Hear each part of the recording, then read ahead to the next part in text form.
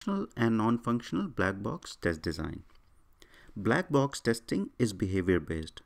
What this means is the system is tested to ensure that outside of the system boundary it delivers the required behavior.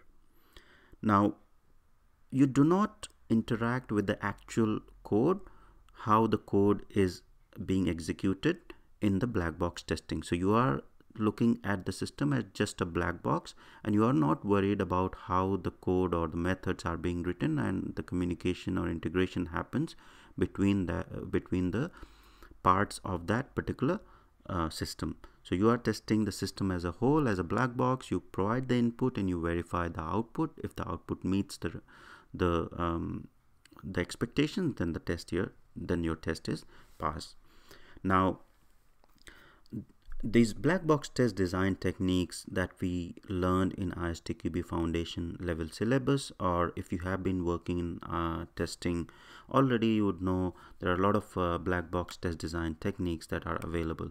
So all these techniques so for example equivalence class partitioning boundary value analysis decision tables state transition test design all these test design techniques are still valid in agile development approaches.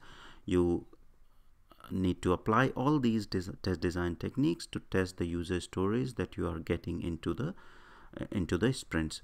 Now using these techniques you can write your positive test cases negative test cases experience based testing which is very popular in agile uh, development approaches uh, and exploratory testing is also very important and um, in agile development approaches. So using these design test design techniques you can do all these types of testing along with non-functional testing as well um, to ensure that the quality that you are delivering uh, at the end of the sprint is good enough and meets the expectations of the end user and stakeholders.